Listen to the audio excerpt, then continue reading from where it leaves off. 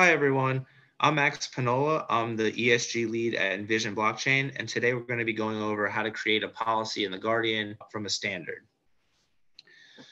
These are the major steps to creating a policy in the Guardian from a standard. The first step is going to be to identify the standard. In this case, we're going to be using the Verra VCS standard, which is the main standard for verifying carbon reductions and offsets. And the methodology that we're going to be talking about is the REDD methodology, which stands for reducing emissions from deforestation and forest degradation. Once you've identified these two documents, you're going to review those documents and be careful to see any other documents that these documents refer to.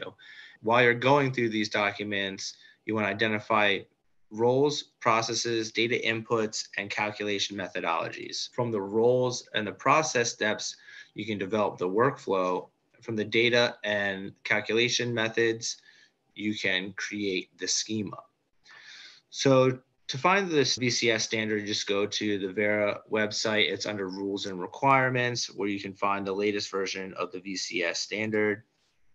Under methodologies, you can find the REDD methodology that we'll be talking about today. So for example, if you're going through the REDD main framework, you'll see in table two, it refers to various other modules which are either mandatory or optional beyond what's covered in that document. So for example, these are the different project types. We're going to talk about APD, which is avoiding planned deforestation. And this table identifies the additional modules that you'll have to review. In addition to that, as you're going through documents such as the main standard, it, it can refer to other documents such as the monitoring report. You're going to take notes of those as well.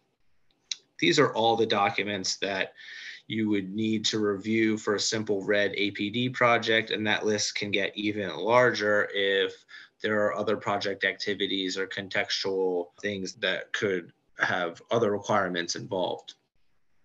So when you're going through these documents, such as the program guide, has a very clear overview of the roles and responsibilities. One of the major roles, for example, is the project proponent, which are the entity that's going to be conducting the project activities and requesting VCUs which are verified carbon units. Each VCU represents one metric ton of carbon removed from the atmosphere. And then validation slash verification bodies, also known as VVBs, they validate projects and verify production. Diagram two will go over the main processes of the project life cycle.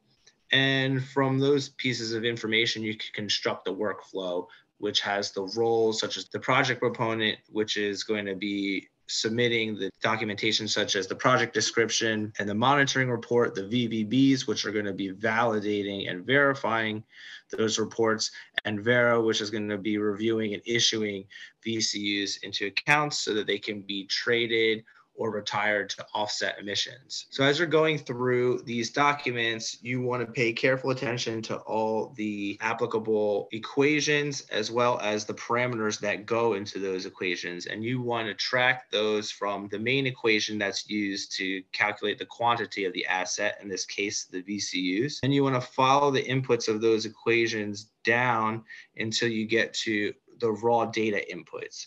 So, for example, for VCU, it's basically going to be the net emission reductions over two periods of time minus a, a buffer, which is VCUs that will be issued into a buffer account to hedge uh, reversal risk that's associated with land use offset projects. But then you might be wanting to track how the actual emission reductions are calculated here in green. So that's actually another equation, which is also in the REDD main framework, which is here. And that's basically the baseline emissions minus the project scenario emissions minus the leakage being emissions that occur as a result of the project activities, but outside of the project boundary. For example, if you avoid deforestation in one area, that could cause an increase in deforestation outside of that project area. So that's to be accounted for as well. And then uh, from here, you want to keep going down. So how is that calculated? It's basically the change in carbon stocks as a result of deforestation, degradation, natural disturbance, as well as greenhouse gas emissions, as a result of deforestation and degradation activities. And then when you go to the equation for how to calculate, for example, the carbon stock change from deforestation, which is this equation in the M-REDD module. The M-REDD module is the equations and the parameters and the requirements for monitoring REDD projects. Here you're finally getting down to raw data inputs such as the area of recorded de deforestation in the project area. As we saw, the inputs of some equations are actually the results of other equations. So what we have here is the basic structure of the schema, which involves some simple string schema types such as the project scope or the summary of the project description. But it also has the raw data inputs and also some auto-calculated equations. As we mentioned, the inputs of a lot of these equations are actually the outputs of other equations. So we've structured that here and streamlined it.